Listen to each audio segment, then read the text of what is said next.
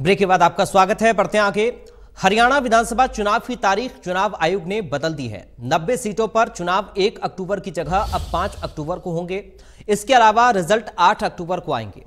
आयोग ने जम्मू कश्मीर विधानसभा चुनाव के भी नतीजे 8 अक्टूबर को घोषित करने का ऐलान किया है। पहले दोनों राज्यों के नतीजे 4 अक्टूबर को आने वाले थे, लेकिन अब 5 अक्टूबर को हरियाणा का विधानसभा चुनाव होगा।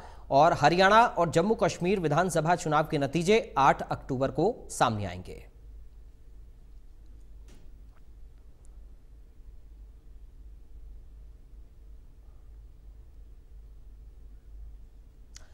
तो हरियाणा तारीख में बदलाव हुआ है। चुनाव आयोग ने हरियाणा विधानसभा चुनाव की तारीख को बदल दिया है। पहले एक अक्टूबर को वोटिंग होनी थी हरियाणा की 90 विधानसभा सीटों पर, लेकिन अब यह वोटिंग 5 अक्टूबर को होगी। तो पहले 4 अक्टूबर को नतीजा आना था और अब 8 अक्टूबर को नतीजा आएगा। तो 5 तारीख को हरियाणा विधानसभा का चुनाव होना है और 8 तारीख को नतीजे घोषित किए जाएँगे हरियाणा विधानसभा चुनाव और जम्मू कश्मीर विधानसभा चुनाव के।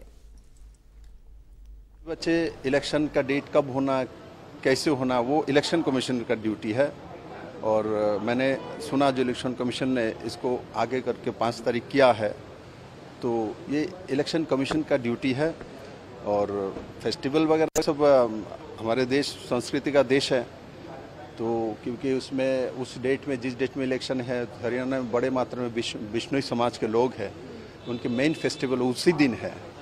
तो स्वाभाविक तौर पे फेस्टिवल के दिन इलेक्शन कमिश्नर चाहता है ज़्यादा से ज़्यादा वोट करे। अब फेस्टिवल में लाखों लोग चले जाएगा तो वो सब देखते हुए जो भी निर्णय लिया है, इलेक्शन कमीशन ने लिया है हम लोग उसको स्वागत करते हैं। और गणतंत्र में इलेक्शन कमीशन के ऊपर कुछ नहीं है।